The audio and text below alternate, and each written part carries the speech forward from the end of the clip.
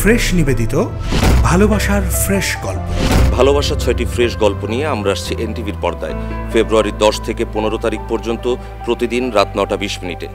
চোখ রাখুন এনটিভিতে। উড়ে উড়ে শহরটা জুড়ে তোমাকে ঘিরে কল